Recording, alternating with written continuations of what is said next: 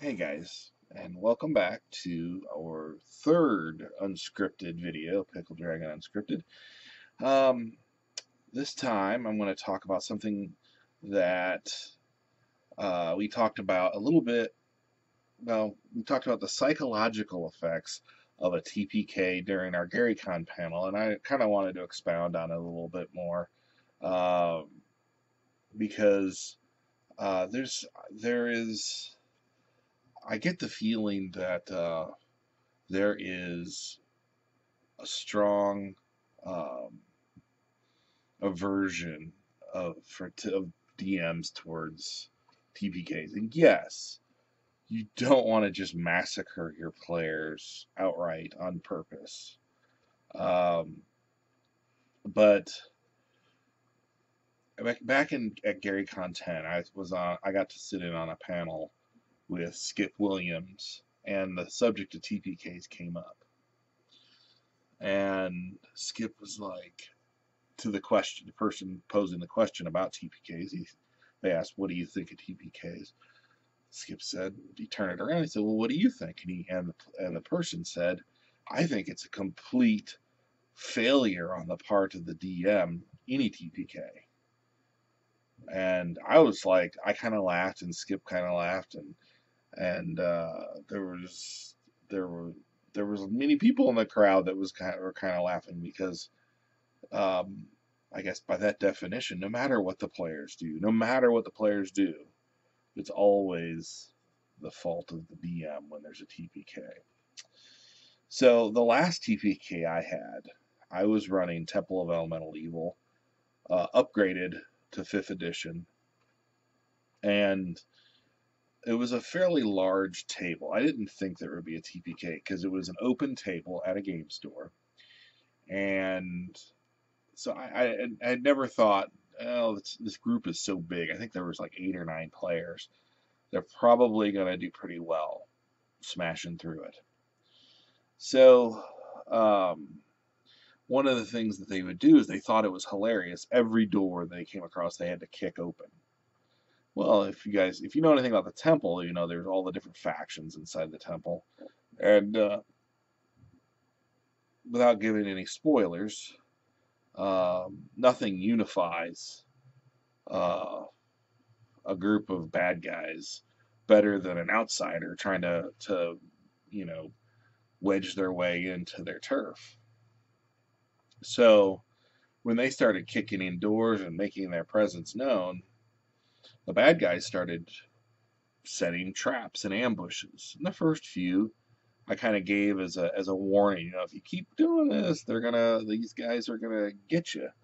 And you know, there was uh, some guardian nagas, some ghouls that laid a trap. There was another guy that had these trained owl bears that laid a trap, and they defeated them. And finally, they, the party made their way into the water cult sanctum, the actual inner sanctum of the water cult. Kicked the door open, of course, because they kicked in every door. And there was no one in there.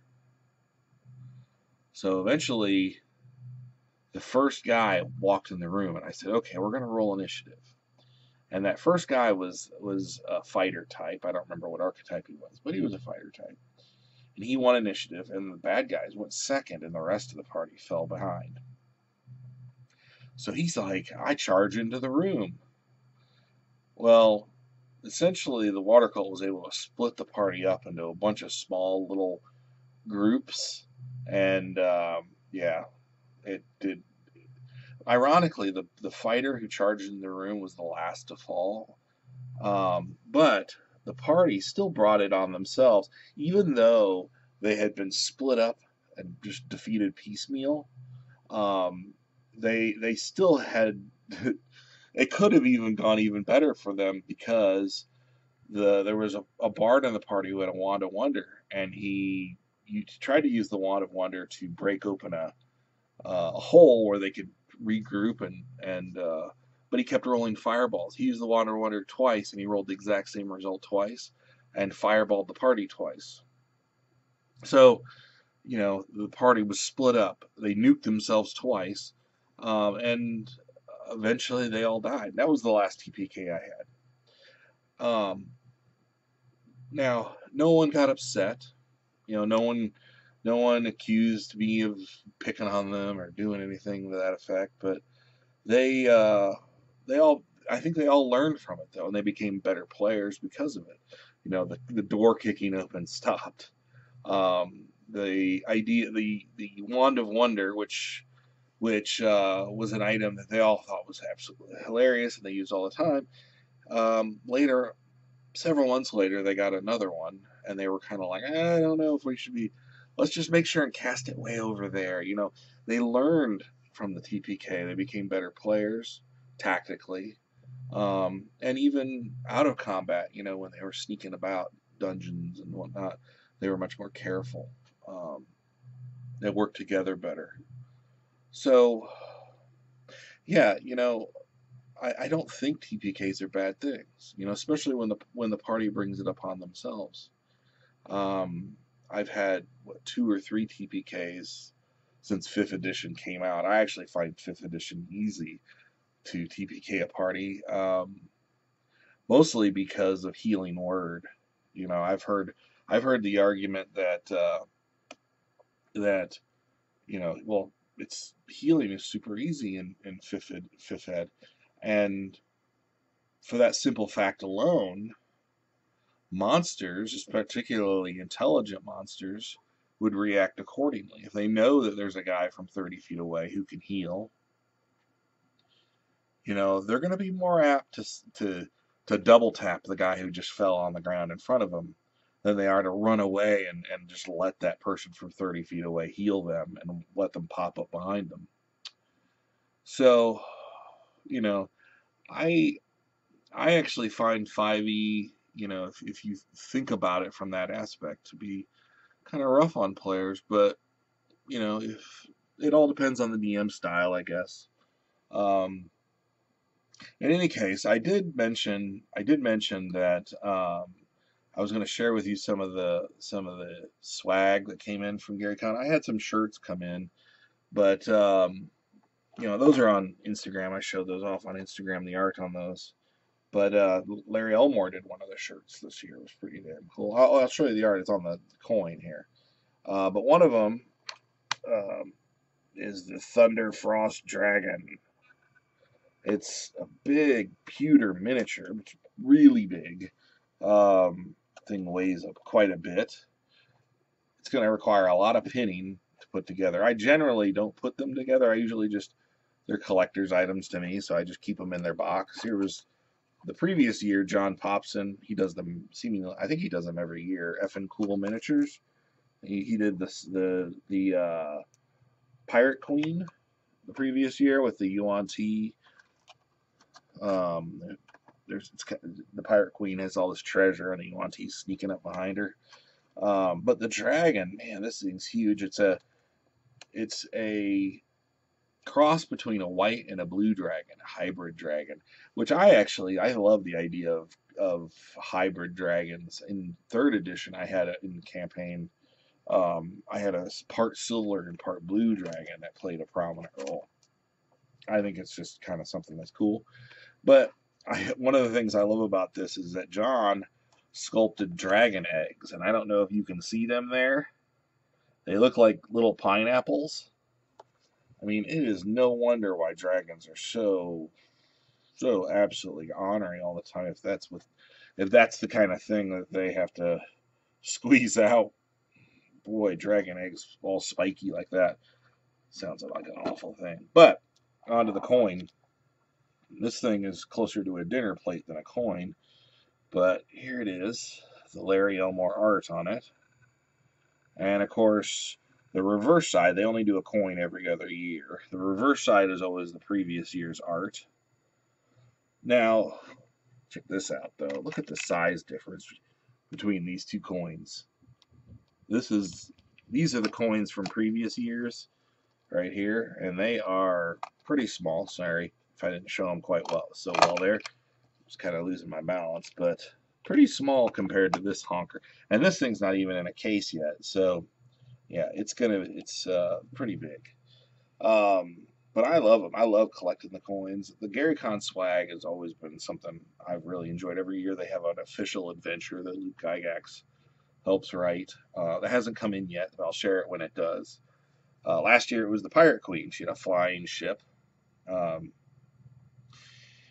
but, uh, oh, you guys had a question. And actually, I've still got a backlog of questions, but I want to answer this one this week. And that is there, I guess some of you, some DMs out there who really do want to run a serious game. Um, and of course, you know, you can always talk to your players if you feel, feel like the goofing off gets to be a little too extreme at the table.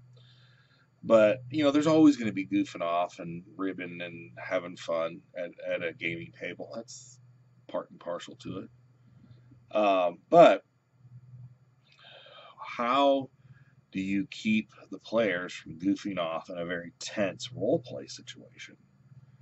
Uh, I do have a, have a trick I use.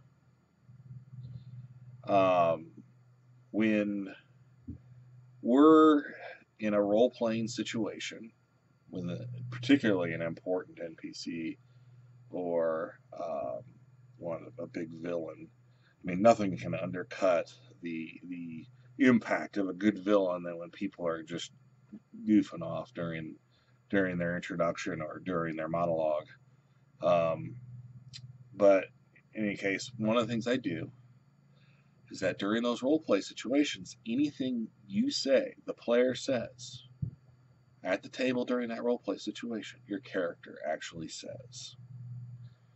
And that has that has bit so many of my players in the butt in the past.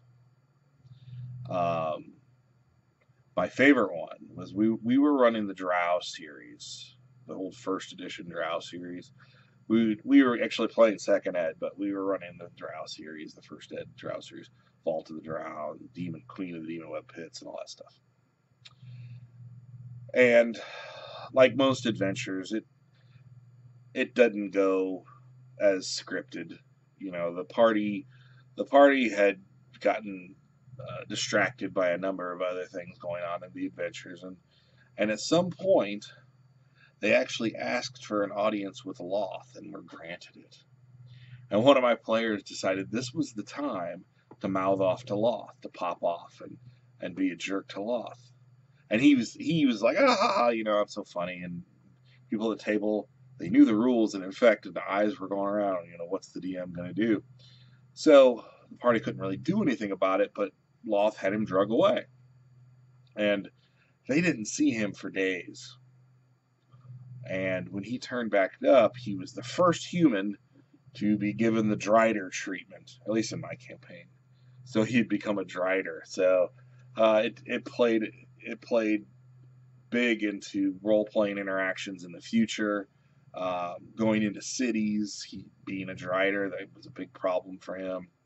Um, so it was, it was, he thought it was cool at first until he tried to go into the first shop, and it just wasn't so cool then. Um, so I mean, and and you know, you don't have to use that mechanic if you don't want to. Um, sometimes you just say, "Hey guys, come on, let's uh, let's keep it serious now," or you talk to your players beforehand. If you know something big's going to happen, you can talk to everyone beforehand and say, "All right, let's try to keep it serious this week," or um, or whatever. You know, you, you really just need to address whatever the problem is and and go from there because sometimes it's not just what the players do. Sometimes maybe the players are just always distracted. You know, I find the more tactical players, the players who like to to really grind the, the mechanics out of their characters are less interested in role play typically. It's not always true. Don't hold me to that, please. But and vice versa, the players who are more interested in, role play aren't necessarily as interested or pay much attention during combat. So, you know, it's you just have to address the problem. You know, what is the problem? You know, what is it that that you're struggling, your table struggling with that's not keeping their attention, and then you address it.